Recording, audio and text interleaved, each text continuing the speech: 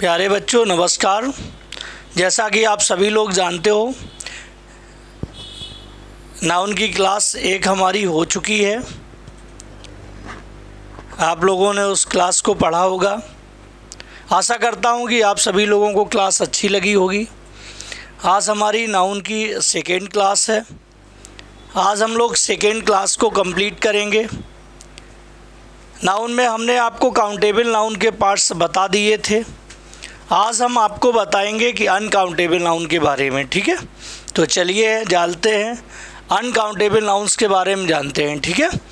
तो इसका नाउन का मैंने दो टाइप्स बताए थे काउंटेबल नाउन और अनकाउंटेबल नाउन। तो काउंटेबल नाउन आपका ओवर हो चुका है। अब हम लोग अनकाउंटेबल नाउन की बात करेंगे, ठीक है? तो दूसरा आपका जो है, ये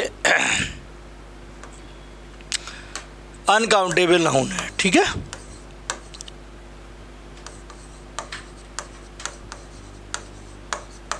अनकाउंटेबल नाउन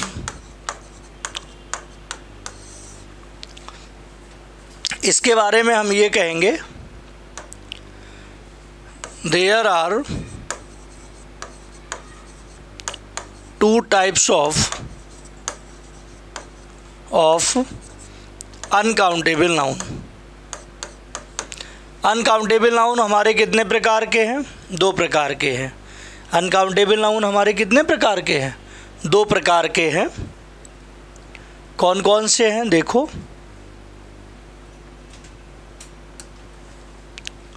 नंबर एक है आपका।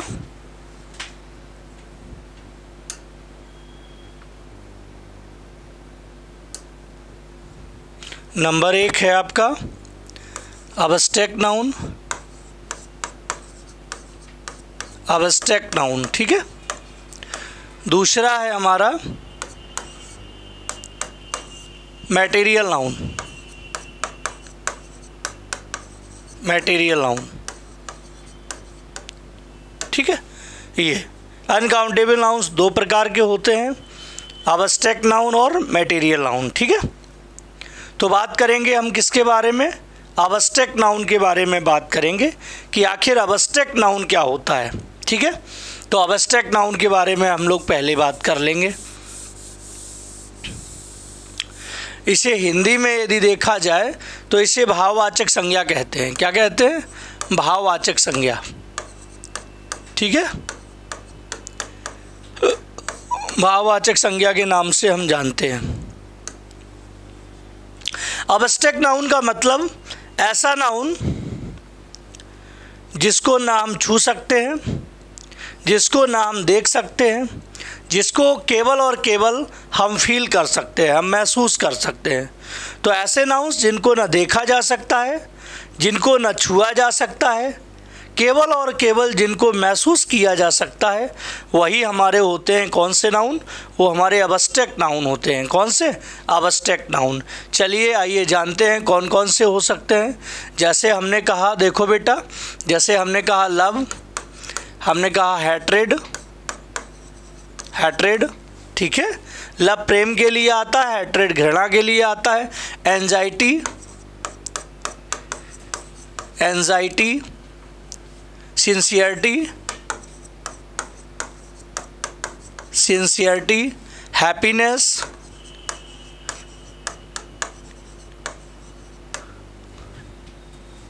hunger anger yes bravery bravery, cowardice,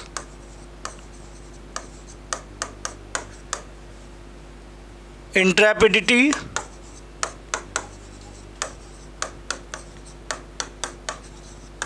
ये सभी आपके जो हैं, ये सभी आपके कौन से नाउन हैं, ये सभी आपके अबस्टेक नाउन हैं। कौन से नाउन है? ये आपके सभी अबस्टेक नाउन हैं। क्योंकि आप इनको, ये जो मैंने नाउन्स लिखे हैं, ना तो आप इन्हें टच कर सकते हैं, ना ही आप इन्हें टच कर सकते हैं, ना ही आप इन्हें देख सकते हैं, केवल और केवल इनको फील किया जा सकता है। जैसे आपने कहा ओनेस्टी सर आपने कहा सर ओनेस्टी लव किसी के प्रेम को फील किया जाता है, घृणा एंजाइटी चिंता को भी महसूस किया जाता है। सिंसियरिटी सिंसियरिटी वफादारी को भी महसूस किया जाता है। हैप्पीनेस प्रसन्नता को भी महसूस करते हैं। हंगर भूख को भी हम फील करते हैं। एंगर एंगर को भी महसूस किया जाता है क्रोध को। ब्रेवरी बहादुरी जो वर्ड है, बोला वो बहुत बहादुर है तो बहादुर तो विशेषण हो जाता है।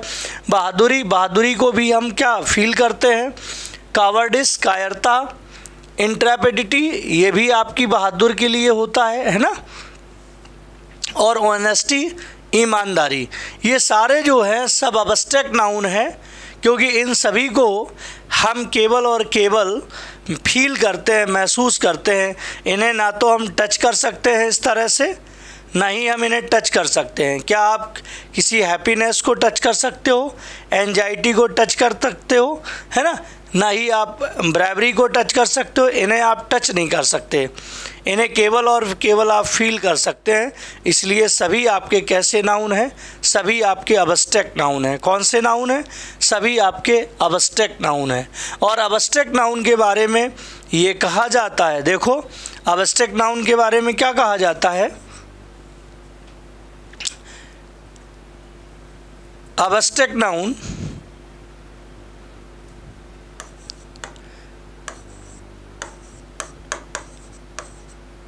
अबस्ट्रैक्ट नाउन को एस या ई एस लगाकर प्लूरल नहीं बनाते हैं। प्लूरल नहीं बनाते हैं। ये। ऐसा नहीं करना। आवश्यक नाउन को कभी प्लूरल नहीं बनाया जा सकता। है अवेस्टेक नाउन जो होते हैं, क्योंकि अनकाउंटेबल नाउन है, जो अनकाउंटेबल नाउन होते हैं, वो हमेशा सिंगुलर होते हैं। तो अवेस्टेक नाउन अनकाउंटेबल नाउन के अंतर्गत आते हैं, इसलिए ये हमेशा सिंगुलर रहेंगे। इनको ऐसा नहीं करेंगे कि आप इन्हें ऐसे एस लगाकर आप प्लूरल बनाने का प्रयास करने लगे। यदि आप प्लूरल बनाने का प्रयास करेंगे, आपका आंसर क्या, गलत हो जाएगा। आपको प्लूरल बनाने का प्रयास नहीं करना है ये बात ध्यान रखनी है, ठीक है? नहीं तो आप लब का लफ्स करने लगे हैड्रिट्स एनजाइटीज़ और सिंसियरिटीज़ और हैप्पीनेसेस कावर्डिस ब्रेवरीज इंट्रेपिडिटीज़ और एंगर्स और हंगर्स आप करने लगे ऐसा आप करेंगे तो आपका आंसर कैसा हो जाएगा? गलत हो जाएगा। इनको आप प्लूरल बनाने का प्रयास नहीं करेंगे, ठीक है? अच्छा दूसरा इसके लिए पॉइंट क्या है कि अबस्ट्रैक्ट देखिए अबस्ट्रैक्ट नाउन से पूर्व, ठीक है? आर्टिकल का यूज़ नहीं किया जाता है। यूज़ नहीं किया जाता है। ये भी पॉइंट आप नोट करिए। ये भी आप पॉइंट नोट करेंगे। कि अवस्टेक नाउन जो होता है, उसके साथ आप आर्टिकल का यूज़ नहीं करते हैं। अवस्टेक नाउन के साथ ना ए, ना एन, ना दा, कोई भी, किसी भी प्रकार का कोई आर्टिकल आप यूज़ नहीं कर पाते हैं। अवस्टेक नाउन के साथ हमें आर्टिकल का यूज़ नहीं करना चाहिए। यदि हम कर देंगे तो हमारा जो क्वेश्चन है, वो आपका रॉन्ग हो जाएगा। अवस्टेक नाउन से पूर्व हमें आर्टिकल का यूज़ नहीं करना चाहिए। तो दो पॉइंट इनके बारे में जान लीजिए। अबस्टेक नाउन जो है, उन्हें आप सिंगुलर से प्लूरल नहीं बना सकते और अबस्टेक नाउन से पूर्व कभी आप आर्टिकल का यूज़ नहीं करेंगे। आर्टिकल का यूज़ नहीं किया जाता है, ठीक है? इनमें यदि हम और चीज़ें लिखें थोड़ा सा तो इनमें जो हमारी अवस्थाएँ होती हैं, उनको भी लिखा जाता है। जैसे अवस्था आपका कौन सा? जैसे आपका एडल्टहुड जो व्यस्क होने की अवस्था होती है एडल्टहुड लिख सकते हो चाइल्डहुड लिख सकते हो, बचपन की अवस्था, ये अवस्थाएँ लिखी जा सकती हैं। यूथ लिख सकते हो, ठीक है? या किसी स्थिति को डेथ और बर्थ को लिख सकते हो, जन्म की स्थिति, स्थितियाँ लिखी जा सकती हैं, ये आप लिख सकते हो। ये सभी आपके नाउन जो है, वो अवस्टेक नाउन ही होंगे। कौन से नाउन होंगे? अबस्टेक नाउन होंगे, ठीक है? इस तरह से अबस्टेक नाउन होंगे। चलिए आगे देखते हैं।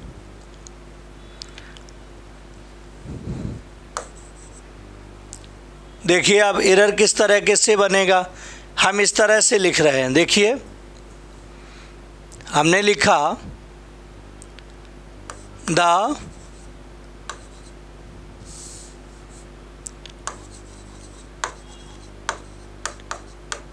the honesties is the best policy ये लिखा। Honesty is the best policy ठीक है? अब आपने देखा, मैंने यहाँ ऑनेस्टीज लिखा। ऑनेस्टीज को मैंने प्लूरल कर दिया। ऑनेस्टी का प्लूरल कर दिया ऑनेस्टीज़ तो आप जानते हो अबस्टेक नाउन है। अबस्टेक नाउन को कभी भी हम एस या एस लगाकर प्लूरल नहीं बनाते। एक तो एरर ये है। और अन अबस्टेक नाउन से पहले हमने क्या यूज़ कर दिया? आर्टिकल का भी यूज़ कर दिया। आप जानते हो अबस्टेक नाउन से पहले आर्टिकल का यूज़ नहीं किया जाता। तो आप इसको ऐसे ही लिख पाओगे। Honesty is the best policy आप ये लिख पाओगे। Honesty is the best policy ये आपका राइट है और ये आपका रॉन्ग है। इस तरह से लिखेंगे। ठीक है? हाँ कभी ऐसा यदि हो जाए, यदि कभी ऐसा हो जाए, यदि स्ट्रक्चर इस तरह का आ जाए, कोई स्ट्रक्चर आ जाए, कोई इस तरह का स्ट्रक्चर आ जाए, देखो किस तरह का। ये वाला। Noun plus of plus noun ये ये कभी स्ट्रक्चर बन जाए तो आप ऐसा कर सकते हो, पहले नाउन से पूर्व आप द आर्टिकल का यूज़ कर सकते हो। क्योंकि ये आपका स्ट्रक्चर ऐसा होता है कि इस स्ट्रक्चर में आप यहाँ भले ही अवस्टिक नाउन आप यूज़ करें लेकिन फिर भी आप अबस्ट्रक्ट नाउन से पहले आप आर्टिकल का यूज़ कर सकते हैं। तो जहाँ पर ये स्ट्रक्चर बन जाएगा noun plus of plus noun का स्ट्रक्चर बन जाएगा, वहाँ आप अबस्ट्रक्ट नाउन से पूर्व आप आर्टिकल द का यूज़ कर पाएँगे, कोई प्रॉब्लम नहीं है। लेकिन यदि ये स्ट्रक्चर नहीं बना है noun plus of plus noun का स्ट्रक्चर नहीं बना है तो आप किसी भी अबस्ट्रक्ट नाउन से पूर्व आर्टिकल का यूज़ नहीं करेंगे। गलत हो जाएगा। कभी आपके आर्टिकल का यूज़ नहीं करना है। तो इस इसका ये स्ट्रक्चर बनाते हैं, जैसे एग्ज़ाम्पल में हमने लिखा, the honesty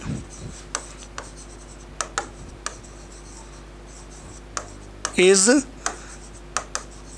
liked by all ये हमने लिखा the honesty of this boy is liked by all यहाँ स्ट्रक्चर आप देखिए, क्या वही स्ट्रक्चर बन रहा है? ये ऑनेस्टी क्या है? नाउन बीच में ये क्या आ गया? ऑफ़ ये दिस बॉय क्या है? नाउन स्ट्रक्चर बना noun plus of plus noun का स्ट्रक्चर बना। तो आप पहले नाउन से पहले आप क्या यूज़ कर सकते हैं? आप आर्टिकल का यूज़ कर सकते हैं। सेंटेंस आपका कैसा है? बिल्कुल राइट है। कैसा है? ये आपका एकदम राइट सेंटेंस हो जाएगा। कैसा? राइट तो ध्यान रखिए noun plus of plus noun के स्ट्रक्चर में फ़र्स्ट नाउन से पहले आप द आर्टिकल का यूज़ कर सकते हैं, कोई भी दिक्कत नहीं है। यदि ये स्ट्रक्चर नहीं बनेगा तो आप अवस्टक नाउन से पूर्व आर्टिकल का यूज़ नहीं करेंगे, ठीक है? ये चीज़। चलिए, आगे अब बताते हैं आपको मटेरियल नाउन के बारे में बताते हैं। किस नाउन के बारे में? मटेरियल नाउन के बारे में। ये आपका दूसरा है मटेरियल नाउन मटेरियल नाउन ठीक? अब बात आती है मटेरियल नाउन क्या होता है? कौन से वर्ड मटेरियल नाउन होते हैं? तो मटेरियल नाउन का मतलब है जिनसे चीज़ों का निर्माण किया जाता है, जिनसे आप चीज़ों को बनाते हैं। तो जिनसे आप चीज़ों को बनाते हैं, वो सब हमारा मटेरियल ही तो होता है। वो सब हमारा मटेरियल नाउन होता है, जिनसे आप चीज़ों का निर्माण करते हैं। चाहे वो आपका खनिज पदार्थ हो और चाहे आपके वो खाद्य पदार्थ हों। जो खनिज पदार्थ होते हैं और जो खाद्य पदार्थ होते हैं, वो सभी हमारे मटेरियल नाउन के अंतर्गत आते हैं। किसके? मटेरियल नाउन के अंतर्गत आते हैं, ठीक है? यस इसीलिए जिनसे चीज़ों का निर्माण, इसमें हम कह सकते हैं, देखो क्या कहेंगे? यदि हम परिभाषा बनाएँ तो क्या बना सकते हैं? हम बना सकते हैं जिनसे, ऐसे, जिनसे चीज़ों का, ये थोड़ा सा ज़्यादा हाँ अब ठीक है। जिनसे चीज़ों का निर्माण किया जाता है, निर्माण किया जाता है, किया जाता है। उन्हें अबस्ट्रैक्ट नाउन उन्हें मैटेरियल नाउन कहते हैं। मैटेरियल नाउन कहते हैं। अरे, जिनसे चीज़ें बनाई जाती हैं, उन्हें हम क्या कहेंगे, प्यारे बच्चों? उन्हें हम क्या कहेंगे? उन्हें हम मैटेरियल नाउन कहेंगे। ठीक है? चलिए देखते हैं कौन कौन से मटेरियल नाउन होते हैं। हम किन से चीज़ों का निर्माण करते हैं? कुछ तो हम इसमें लिख सकते हैं, तीन चीज़ें सबसे पहले लिखते हैं। नंबर एक में लिखते हैं आपका, और सॉलिड सॉलिड चीज़ें लिखेंगे। ये ब्लैक से कर लेते हैं, ठीक है? ये ब्लैक से। इसमें हम सॉलिड सॉलिड लिक्विड जो चीज़ें हमारी कैसी होंगी लिक्विड होंगी, उनको लिखेंगे।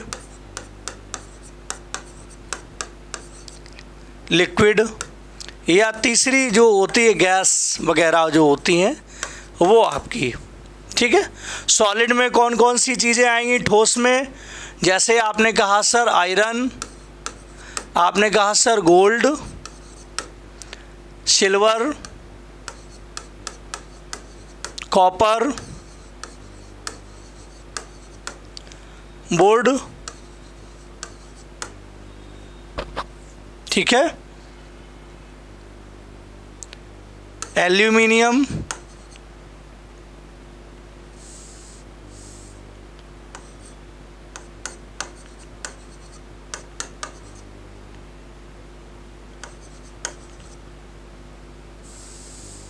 sorry. ये। मीनियम। एल्यूमिनियम, है ना? ये सभी आपके क्या हैं? सॉलिड हैं। क्या है? सॉलिड। लिक्विड का मतलब होता है तरल। जो बहके नहीं चल देते हैं जो चीज़ें बहके चल देती हैं, वो सब लिक्विड में होती हैं। जैसे आपने कहा, सर, मिल्क। है ना? आपने कहा, सर, वाटर। ये। आपने कहा, सर, ऑयल। ये आप लिखोगे। ऑयल आपने कहा, सर, डीजल। ठीक है? आपने कहा, सर, पेट्रोल। सभी आप देख रहे हो लिक्विड फॉर्म है। आपने कहा, हनी। आपने कहा, सर, वाटर। ठीक है? ये सभी आप। आपने कहा, सर, कर्ड। सभी आपके लिक्विड फॉर्म में हैं। जो लिक्विड फॉर्म में है, वो सारे क्या है? मटेरियल आउन है, ठीक है? गैस में आप कोई भी गैस आप लिखोगे, आपने कहा सर सी ओ टू है ना? यस आपने कहा sir S two S O four है ना? आपने कहा सर ओ टू तो कोई भी आप लिख सकते हो, ठीक है? तो जो हमारे गैस होते हैं गैसेस होते हैं लिक्विड होते हैं सॉलिड होते हैं, वो सभी हमारे मटेरियल नाउन होते हैं। कौन से होते हैं? मटेरियल नाउन होते हैं, ठीक है? यस जिनसे चीज़ों का निर्माण किया जाता है, वो सब हमारे क्या होते हैं? मटेरियल नाउन होते हैं। अब आप जानते हो ये जो मटेरियल नाउन्स होते हैं इनको हम क्या करते हैं? इनके लिए पॉइंट बनता है कि मटेरियल नाउन को कभी हम सिंगुलर से प्लूरल नहीं बनाते। मटेरियल नाउन को कभी हम सिंगुलर से प्लूरल नहीं बनाते हैं। ऐसा नहीं करते हैं कि हम आयरन का आयरन्स कर दें गोल्ड का गोल्ड्स कर दें सिल्वर का सिल्वर्स कर दें कॉपर का कॉपर्स वुड का वुड्स कर दें एल्यूमिनियम का एल्यूमिनियम्स कर दें। ऐसा नहीं करते हैं। ना ही हमारे लिक्विड फॉर्म वाले जो होते हैं, जैसे मिल्क है मिल्क्स कर दें। वाटर का वाटर्स ऑयल का ऑयल्स डीजल का डीजल्स पेट्रोल्स और, है ना? ये हनीज कट्स कर दें, ये नहीं, बिल्कुल नहीं हो सकता। क्योंकि मटेरियल नाउन को कभी प्लूरल में नहीं लिखा जाता है। तो पहला पॉइंट इसमें बनता है। क्या बनेगा? पहला पॉइंट क्या बनेगा? मैटेरियल नाउन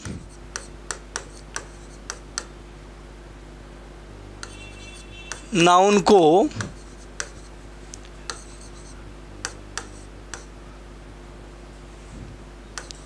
प्लूरल फॉर्म में नहीं लिखा जाता है। फॉर्म में नहीं लिखा जाता है। नहीं लिखा जाता है। ठीक है बेटा? यस मटेरियल नाउन को प्लूरल फॉर्म में नहीं लिखा जाता। एक बात। दूसरा इसमें पॉइंट बनाएँगे। मटेरियल नाउन से पूर्व पूर्व आर्टिकल का यूज़ नहीं किया जाता है। यूज़ नहीं किया जाता है। दूसरा पॉइंट। ये भी आप पॉइंट नोट करिए, ठीक है? मटेरियल नाउन से पूर्व आर्टिकल का भी यूज़ नहीं किया जाता है।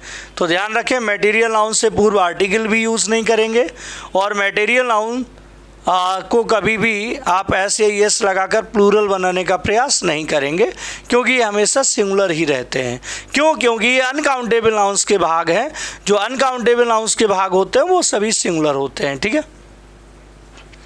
जैसे हम एक एग्ज़ाम्पल आपको लिख रहे हैं एग्ज़ाम्पल लिख के बता रहे हैं, इस बात को समझा रहे हैं, ठीक है?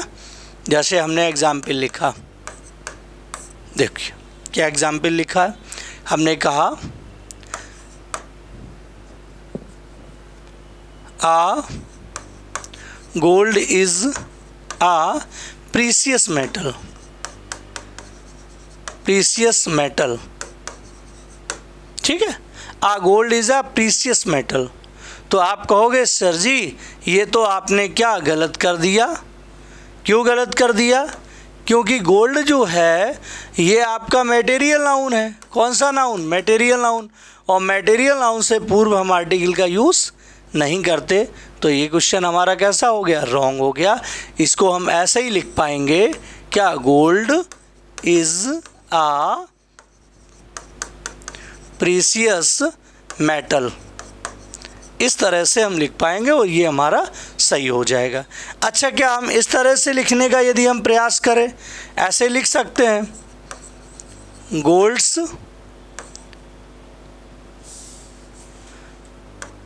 is a precious metal क्या हम ऐसा लिख सकते हैं? अरे नहीं भाई गोल्ड जो मटेरियल नाउन है और मटेरियल नाउन को कभी हम एस या एस लगाकर प्लूरल नहीं बनाते गलत है। आप वैसे ही लिखेंगे, क्या? गोल्ड इज़ आ सही आपका कौन सा होगा? सही यही हो जाएगा gold is a precious metal तो गोल्ड्स भी नहीं लिख पाएँगे इसको golds is a precious metal ऐसा भी नहीं लिखेंगे, ठीक है? अच्छा। क्या हम ऐसा लिख सकते हैं? देखो इस तरह से हम लिखने का प्रयास करें क्या ऐसा लिख सकते हैं, the gold the gold is a precious metal. Precious metal. क्या हम ऐसा लिख सकते हैं? अरे, ऐसा भी नहीं लिख सकते। क्यों? क्योंकि आप मटेरियल नाउन से पूर्व मटेरियल नाउन से पूर्व आर्टिकल का यूज़ नहीं किया जाता है। मटेरियल नाउन से पूर्व आर्टिकल का यूज़ नहीं किया जाता है। इसलिए ये भी गलत है। तो ध्यान रखना है ना ही मटेरियल नाउन को आप प्लूरल में लिख सकते हो और ना ही मटेरियल नाउन से पहले आप आर्टिकल का यूज़ कर सकते हो। किसी भी आर्टिकल का यूज़ नहीं कर सकते हो। हाँ इसमें बट एक कंडीशन होती है, उसको आप लोग जान लो। ठीक है? कौन सी? एक स्ट्रक्चर होता है आपका ये। स्ट्रक्चर जब स्ट्रक्चर आपका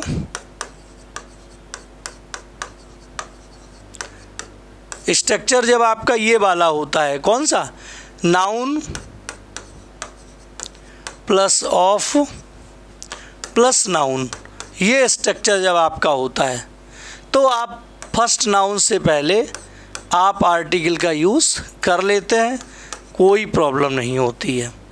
चाहे भले ही ये आपका फ़र्स्ट नाउन जो है, वो आपका क्यों ना मटेरियल नाउन हो, यदि कहीं भी ये स्ट्रक्चर बन रहा है noun plus of plus noun ये स्ट्रक्चर आपका बन रहा है तो आप भले ही ये मटेरियल नाउन है, फिर भी आप इससे पहले द आर्टिकल का यूज़ करेंगे। देखो, जैसे मैं लिख रहा हूँ, एक example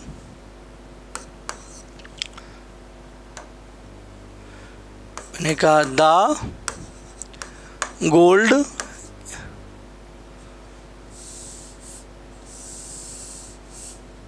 Of. Nepal is very cheap. मैंने कहा, the gold of Nepal is very cheap. ये, अब देखो स्ट्रक्चर आप लोग देख रहे हो। ये स्ट्रक्चर यहाँ क्या बना? ये गोल्ड क्या है? नाउन ये क्या है? ऑफ़ नेपाल क्या है? नाउन स्ट्रक्चर क्या बना? Noun plus of plus noun बना? तो यदि ये स्ट्रक्चर बनेगा noun plus of plus noun तो आप पहले नाउन से पहले आर्टिकल का यूज़ कर सकते हो। इसका मतलब सेंटेंस कैसा है? सेंटेंस आपका राइट है। अभी आपने देखा था पिछले सेंटेंस में, आपने गोल्ड से पहले द यूज़ किया था तो सेंटेंस आपका कैसा हो गया था? रॉन्ग अब गोल्ड से पहले आप द यूज़ कर रहे हो द आर्टिकल तो कैसा हो रहा है? राइट इसका मतलब यहाँ स्ट्रक्चर बन रहा है noun plus of plus noun का। तो आप मटेरियल नाउन से पहले भी आर्टिकल दा का यूज़ कर सकते हैं। जब ये स्ट्रक्चर नहीं बनेगा तो आप मटेरियल नाउन से पूर्व आप आर्टिकल का यूज़ नहीं करेंगे। ये वाली बात है आपकी। ठीक है? आई होप आपको समझ में आई होगी, ठीक है, कि मैं क्या कहना चाहता हूँ। चलिए तो आगे चलेंगे, आगे बात करेंगे। आपका ये जो नाउन का बेसिक था, वो मैंने आपको कंप्लीट करवा दिया है, ठीक है? नाउन का जो बेसिक था, वो आपका कंप्लीट है। अब आगे क्लास करेंगे, ठीक है? आगे चलेंगे, ठीक है?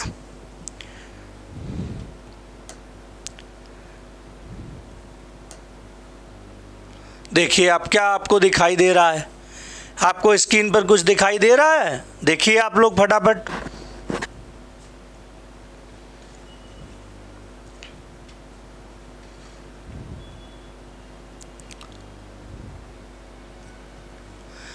यहाँ लिखा हुआ है, देखिए, रूल मैंने फ़र्स्ट में किया है।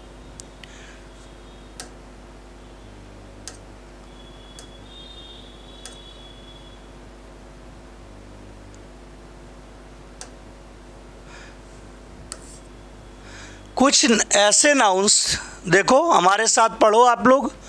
कुछ ऐसे नाउंस जो अर्थ में प्लूरल होते हैं। कैसे होते हैं? जो अर्थ में प्लूरल होते हैं उनके साथ प्लूरल वर्ब का प्रयोग करना चाहिए। ये मैं आपको एक रूल बताना चाहता हूँ। उस रूल को आप लोग ध्यान से सुनिए और सीखिए। क्या नाउन का रूल है ये पहला?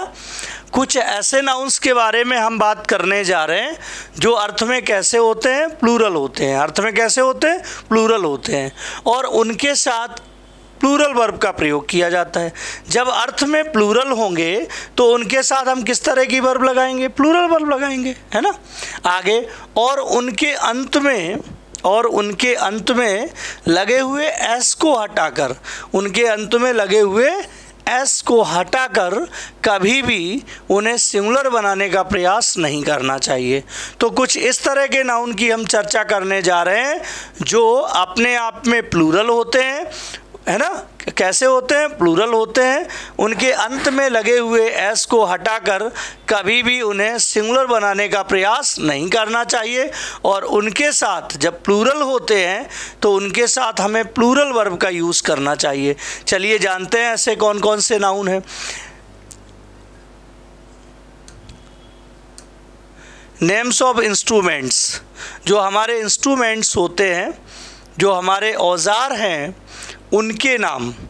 ये उनके नाम है, जैसे लिखा हुआ है इसमें, लिखा हुआ सीजर्स सीजर्स से आप परिचित हैं सीजर्स देखो प्लूरल में है। ये जैसा लिखा गया, वैसा ही लिखा ही होना चाहिए, लिखा जाना चाहिए, कभी भी इसको सिंगुलर बनाने का प्रयास नहीं करना चाहिए। ठीक है? ये तो सीजर्स कैंची की बात होती है, टोंग्स ये आप जानते हो, ये हम चिमटा के लिए यूज़ करते हैं। किसके लिए? ये हम चिमटा के लिए यूज़ करते हैं। बैलोस इसको हम फुकनी के लिए यूज़ करते हैं। फुकनी के लिए, है ना? यस। ये आपका प्लायर्स, ये शरौता के लिए यूज़ होता है। काय के लिए? शरौता पिंसर्स, ये आप चिमटी के लिए यूज़ करते हो। काय के लिए बेटा? चिमटी के लिए यूज़ करते हो। बाइनोकुलर्स, दूरबीन सन ग्लासेस चश्मे के लिए आई ग्लासेस स्पेक्टिकल्स ये चश्मे के लिए यूज़ होता है स्पेक्टिकल्स स्पेक्टिकल्स ही होना चाहिए। सीयर्स ये भी आपकी सनासी के लिए यूज़ होता है। क्लीपर्स ये कतरनी होती है ना, कतरनी, जिससे हम चीज़ों को काटते हैं, है ना? डिवाइडर्स ये आपका परकाल जो होता है ना, परकाल, उसको हम लोग डिवाइडर्स बोलते हैं, ठीक है? तो ये ऐसे नाउन हैं जो अपने आप में प्लूरल में लिखे गए हैं, वो प्लूरल ही होने चाहिए। इन्हें कभी भी इनके अंत में लगे हुए एस को हटाकर इन्हें सिंगुलर बनाने का प्रयास नहीं किया जाना चाहिए। ठीक है? और देखो, दिया है नेम्स ऑफ़ ड्रेसेस। हमारी कुछ पोशाकें हैं, उनके नाम दिए गए हैं, जो हमेशा प्लूरल में होते हैं। ठीक है? जैसे लिखा है पैंट्स पैजामाज ट्राउजर्स, शॉर्ट्स जांगिया वगैरह, जीन्स सॉक्स मोजे और शूज़ माने जूते। ये सारे ऐसे हैं। है ना? ये भी हमेशा प्लूरल में ही यूज़ होने चाहिए। इनका कभी भी ऐसा हटाकर इन्हें सिंगुलर बनाने का प्रयास नहीं करना चाहिए, ठीक है? ये बात। तो इन शब्दों को हम सीखेंगे। ये ऐसे शब्द होते हैं, अपने आप में प्लूरल होते हैं, इनके अंत में लगे हुए एस को हटाकर इन्हें सिंगुलर बनाने का प्रयास नहीं किया जाना चाहिए और अर्थ में प्लूरल होते हैं, इसलिए इनके साथ हमेशा प्लूरल वर्ब का प्रयोग किया जाता है। इसलिए इनके साथ हमेशा किस तरह की वर्ब? हम प्लूरल वर्ब यूज़ करते हैं, ठीक है? चलिए आगे देखते हैं। अदर वर्ड्स कुछ और भी शब्द दिए गए हैं, जो भी, जो प्लूरल होते हैं। कौन कौन से? आल्म्स दिया गया है, इसे आप जानते हो, भिक्षा कहते हैं। क्या कहते हैं? भिक्षा कहते हैं। ये असेट्स असेट्स नहीं जानते होगे, ये संपत्ति के लिए वर्ड यूज़ होता है। किसके लिए? ये संपत्ति के लिए यूज़ होता है। सराउंडिंग्स जानते हो, चारों ओर का रिचेज है ना? यस सेविंग्स बचत के लिए आता है। रिचेज ये आपका संपत्ति के लिए वेल्थ के सेंस में। ये आपका वेल्थ के सेंस में यूज़ होता है। ये आपका सेविंग्स ये बचत के लिए यूज़ होता है। बचत प्रोसीड्स ये आपका आमदनी के लिए, ये आपका आमदनी के लिए यूज़ होता है वर्ड ठीक है? वैल्यूएबल्स ये कीमती सामान, इसको हम लोग यूज़ करते हैं किस सेंस में? ये कीमती सामान के सेंस में यूज़ किया जाता है। ठीक है? यस इम्बर्स है ना? और एसिस ये राख के लिए आता है फैंक्स ये डंग के लिए आता है टिडिंग्स ये समाचार के लिए आता है। समाचार, इस तरह से। ये आपका बिलोंगिंग्स अपने से संबंधित वस्तुएँ यस आउटस्कर्ट्स ये आउटस्कर्ट्स जो है, इसका अर्थ आप बाहरी इलाका, आप ऐसा यूज़ करेंगे बाहरी इलाका, इस सेंस में यूज़ होगा। रिमेंस जो अवशेष होते हैं ना, अवशेष होते हैं, उन्हें कहते हैं टूल्स, जानते ही हो। मींस ये हमारे कमाई के साधन, है ना? क्रेडेंशियल्स ये आपके जो है साक्ष होता है, जिसे आप प्रूफ बोलते हो। क्या बोलते हो? प्रूफ बोलते हो, ठीक है? यस और ऑर्डर्स आदेश, हमारे राशंस, जो हम लोग राशन नहीं लेते हैं, वही राशन नहीं हमेशा राशंस कहा जाता है। कस्टम्स इसके बारे में बताएँगे।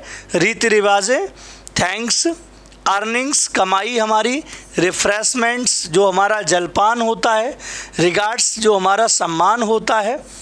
ठीक है? सम्मान और एरियर्स हमारा बकाया धनराशि वेजेस के बारे में बताएँगे अभी। और कॉन्ग्रेचुलेसन्स एनाल्स हमारा इतिहास जो वार्षिक वृत्तांत होता है है ना? ये सभी आपके जो नाउंस आपको दिखाई दे रहे हैं, ये सभी आपके प्लूरल सेंस में यूज़ किए जाते हैं। इनके साथ हमेशा आपको प्लूरल वर्ब यूज़ करना चाहिए। इनके अंत में लगे हुए एस को हटाकर इन्हें नहीं लिखा जाएगा, है ना? नहीं तो उनका सेंस बदल जाएगा, ठीक है? यस जैसे, पहला देखो। एग्ज़ाम्पल दिया गया है। Where is the tongs tongs जो होता है टोंग्स के कितने फलक होते हैं? दो। जिनके भी दो फलक होते हैं, अक्सर उनके साथ बर्ब हमेशा प्लूरल तो टोंग्स जो होता है, अपने आप में प्लूरल होता है तो इसके साथ बर्ब कैसी आनी चाहिए? प्लूरल आनी चाहिए। इस क्वेश्चन में बर्ब कैसी लिखी है? सिंगुलर तो रॉन्ग हो गया। इसको आप कैसे लिखेंगे? वेयर इज़ द टोंग्स आप इस तरह लिखेंगे। वेयर इज़ द टोंग्स गलत होगा? तो यहाँ इसकी जगह क्या लिखें? Where are the tongs where are the tongs ये आपका राइट right आंसर होगा। तो ये रॉन्ग हो जाएगा। The proceed were deposited in the bank proceed means proceeds means क्या बताया? आमदनी। तो आमदनी जो होता है द प्रोसीड्स वर कहा जा रहा है the proceed were deposited in the bank bank में क्या जमा किया जाता है? आमदनी ही तो व्यक्ति जमा करता है। क्या जमा करता है? आमदनी जमा करता है। यहाँ पे प्रोसीड ही लिखा है। प्रोसीड तो ये वर्ब होती है। ये आगे बढ़ना होता है। जबकि यहाँ बैंक में जो चीज़ जमा की जाएगी, वो हमेशा आमदनी होगी। तो आमदनी लिखने के लिए यहाँ इन्होंने प्रोसीड लिख दिया है। गलत है। क्वेश्चन ये आपका रॉन्ग है। इसको इस तरह से लिखा जाना चाहिए। The proceeds were deposited in the bank ये लिखा जाना चाहिए। ये आपका राइट right आंसर होगा। The proceeds were deposited in the bank ये होगा प्रोसीड नहीं यूज़ करना चाहिए, ठीक है? अच्छा अगला क्वेश्चन है। आल्म्स ये। आल्म्स मीन्स भिक्षा या दान होता है, ठीक है? Alms is given to the beggars. अब आर्म्स जो होता है, अपने आप में प्लूरल होता है, इसके साथ वर्ब कैसी होनी चाहिए? प्लूरल होनी चाहिए। इसमें सिंगुलर दी गई है। क्वेश्चन आपका कैसा है? रॉन्ग है। आपको इस तरह से लिखना चाहिए। Alms are given to the beggars. ये आपका राइट आंसर होगा। तो ध्यान रखेंगे, जितने भी वर्ड्स मैंने बताए हैं, ये सभी अपने आप में कैसे हैं? प्लूरल हैं, इनके साथ बर्ब हमेशा प्लूरल यूज़ करनी है। इनके अंत में लगे हुए एस को हटाकर इन्हें कभी भी आप सिंगुलर बनाने का प्रयास नहीं करेंगे। ठीक है? सिंगुलर बनाने का प्रयास आप नहीं करेंगे। चलिए देखते हैं। आगे और एक क्वेश्चन एक और एग्ज़ाम्पल दिया गया है। राजेश बॉट अ पेंट लिखा है? यस yes, तो ये भी आपका क्वेश्चन कैसा है? रॉन्ग है क्योंकि पेंट जो लिखा है पेंट तो होता ही नहीं है। हमेशा पेंट्स होता है तो ये गलत है इन्हें है ना? तो ये ऐसा लिखा जाएगा देखो। Rajesh Rajesh bought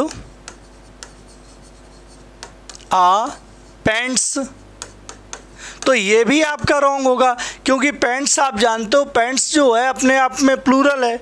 जब प्लूरल है तो उससे पहले ए एन आर्टिकल क्यों आएगा? तो ध्यान रखो, एक ऐसी चीज़ें जो पेयर में होती हैं। पैंट जो होता है उसके भी दो फलक होते हैं। होते हैं, जिनके दो फलक होते हैं, जैसे कैंची है, आपका चश्मा है, आपका ट्राउज़र है, आपका चिमटा है, जिनके भी दो फलक होते सीजर्स हैं, उनका जब आपको एक चीज़ की बात करनी हो तो उसमें जोड़ दिया जाता है ए पेयर ऑफ़ क्या जोड़ दिया जाता है? ए पेयर ऑफ़ जब आपको एक से ज़्यादा चीज़ों की बात की करनी हो, आप जोड़ दो वहाँ पेयर्स ऑफ़ क्या जोड़ दोगे?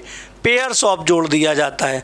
तो ध्यान रखना है, आपको यहाँ एक की बात करनी है तो हमें इससे पहले जोड़ना है। तो इसको हम लोग गलत है ये हमारा।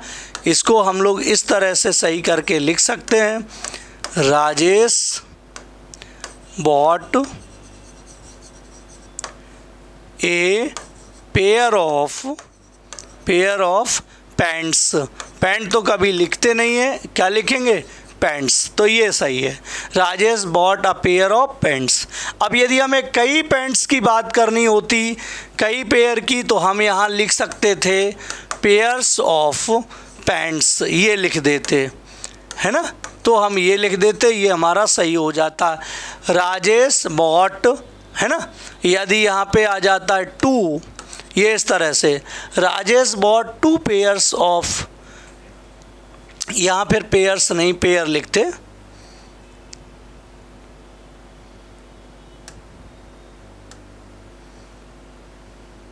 ये। टू पेयर ऑफ़ पैंट्स कितना? टू पेयर ऑफ़ पैंट्स लिख देते। ना ना ना।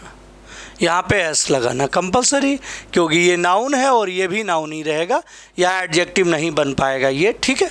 टू पेयर्स ऑफ़ पैंट्स तो टू पे टू है तो पेयर्स ऑफ़ पैंट्स हो जाएगा। एक की बात है तो पेयर ऑफ़ पैंट्स हो जाएगा, ठीक है? यस अगला एक और उदाहरण दिया है, देखो इन्होंने। I stole his belonging I stole his belonging तो आप जानते हो बिलोंगिंग नहीं होता है, हमेशा बिलोंगिंग्स होता है। इन्होंने तो एस को हटा दिया। मैंने कहा था, ये भैया, ऐसे होते हैं, इनमें, अंत में लगे हुए एस को इन्हें हटाया नहीं जाता। इन्हें, इन, इनके अंत में लगे हुए एस को हटाया नहीं जाता। हमेशा बिलोंगिंग्स लिखा जाएगा, कभी बिलोंगिंग नहीं लिखा जाएगा। इस बात को ध्यान रखेंगे हम लोग, ठीक है? तो यहाँ पे आप लिखेंगे I stole I stole his belongings B E L O N G I N G S ये ये वाला हमारा राइट होगा। इसमें एस लगाना जो है, वो कंपलसरी है कि मैंने उसके बोरिया बिस्तर को चुरा लिया। है ना? यस बात समझ में आई होगी आप लोगों को? यस अगला देखिए। अनकाउंटेबल नाउंस अगला रूल है अनकाउंटेबल नाउंस सिंगुलर होते हैं। रूल उन्होंने नेक्स्ट बनाया कि जो अनकाउंटेबल नाउंस होते हैं, वो कैसे होते हैं? सिंगुलर होते हैं। उनके साथ सिंगुलर वर्ब का प्रयोग किया जाता है। जो अनकाउंटेबल नाउंस होते हैं हमारे, वो सिंगुलर होते हैं। उनके साथ हमें कैसी वर्ब लगानी चाहिए? सिंगुलर वर्ब का यूज़ करना चाहिए। और अनकाउंटेबल नाउंस से पूर्व आर्टिकल का प्रयोग नहीं किया जाता है। इन्होंने कहा अनकाउंटेबल नाउंस हमेशा सिंगुलर होते हैं। इनके साथ हमें कैसी वर्ब लगानी है? तो इनके साथ हमें सिंगुलर वर्ब यूज़ करनी है और अनकाउंटेबल नाउंस से पूर्व कभी आर्टिकल का प्रयोग नहीं किया जाता है। ये बताया गया है। तो देखिए कौन कौन से अनकाउंटेबल नाउन है? जैसे एडवाइस अनकाउंटेबल नाउन है। Information scenery poetry furniture hair luggage luggage means सामान stationery jewellery uncountable machinery uncountable mischief शरारत एविडेंस साक्ष्य इक्विपमेंट यंत्र वर्क कार्य word paper board food money traffic bread cost music और कौन सा ट्रैवल फ्यूल एंड फ्रूट। ये जितने भी नाउन मैंने लिखे हैं, सभी आपके अनकाउंटेबल नाउंस हैं। कैसे नाउन हैं? ये सभी आपके अनकाउंटेबल नाउंस हैं और अनकाउंटेबल नाउन के साथ हमें कैसी वर्ब यूज़ करनी है? हमें सिंगुलर वर्ब यूज़ करनी है, ठीक है? किस तरह की वर्ब यूज़ करनी है? सिंगुलर वर्ब यूज़ करनी है, ठीक है? चलिए फिर आज हम इतना ही रखेंगे। इसके बारे बारे में हम कल आपको बताएँगे, ठीक है? इसके बारे में जो ये रूल्स अब आ गया आपका, इसके बारे में कल चर्चा करेंगे। आज हम इतना ही रखेंगे। आज के लिए इतना ही, और आप लोग प्रतिदिन कॉपी पेन लेके बैठा करो, तभी आपकी पढ़ाई अच्छे से बनेगी। और आपका ये सेशन जो है कंटिन्यू चलता रहेगा। आपकी इंग्लिश हम पूरी कंप्लीट कराने वाले हैं। Okay thank you